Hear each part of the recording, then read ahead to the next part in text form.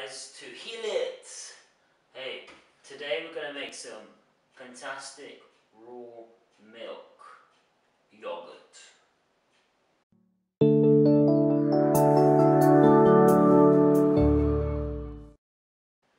It's really helped me like get a normal still consistency like every day.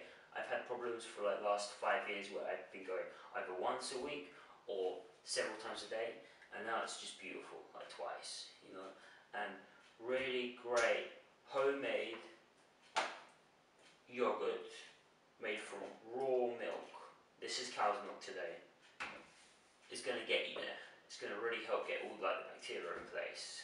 The reason why it's so so important to make your own homemade yogurt is the shop stuff never compares. Because you got to remember when like everything in the shop it's made to kind of be a certain way. So it's always trying to be like like the sweetest generally. So it's never very sour.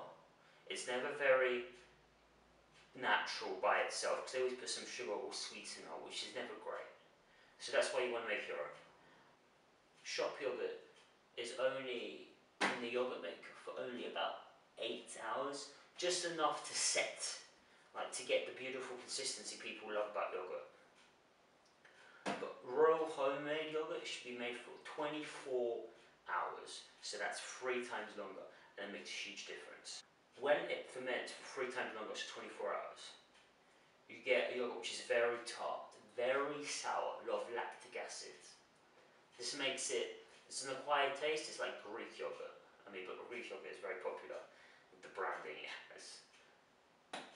But it can't be stressed more enough, that's how it should be. So it's a lot of lactic acid, and a lot of bacteria because the bacteria had longer to grow.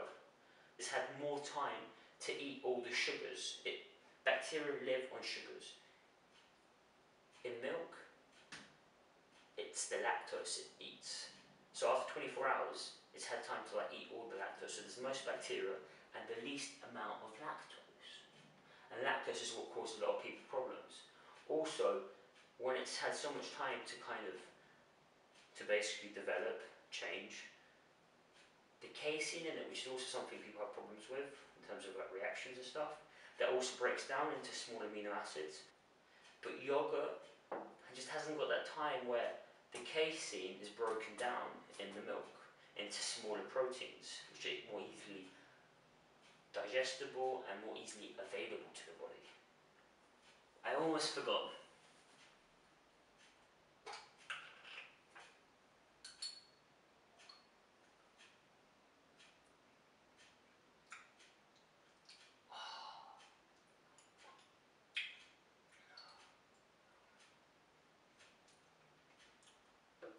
It's tart, it breaks through the palate. It just breaks through the palate, cleans the palate up. If you have like problems with addiction, addiction, people don't want to say that, but if you have habits where you eat poor food, especially a lot of sweet processed food, then this tartness, the lactic acid like I mentioned here, it kind of cleans your palate up and it kind of makes you actually kind of more crave, it actually makes you crave more sour foods. And when you crave more sour foods, then you're eating less sweet food, of course. But not even sour food, so much more savoury, you see. It's just so wholesome and it's real. And because it's homemade, you know exactly what you put into it and what you didn't put into it. I'm going to use this alongside my apple crumble for my next recipe. It's great by itself. It's great with a bit of vanilla main thing, it makes me feel really good. So I'm going to keep doing it. Not too much, but one of these a day, and like a bit of kefir as well for the probiotics. It really sorts you out. I hate, number one thing remember, supplement companies are worth millions and millions and billions of dollars and pounds. And supplements is not how you should get probiotics, vitamins, enzymes. It's through what we put into ourselves, the water we drink, the fruit, whatever, the liquids, the, the solids, whatever we eat, that's how it's meant to come, but in its natural form. When you buy a supplement tablet, I mean, don't expect the same benefits you're going to get if you make it, if you make the best quality food. I mean, I've spent hundreds of pounds on supplements and they've done nothing to me. Nothing could help that but this and real food. Like, subscribe, comment.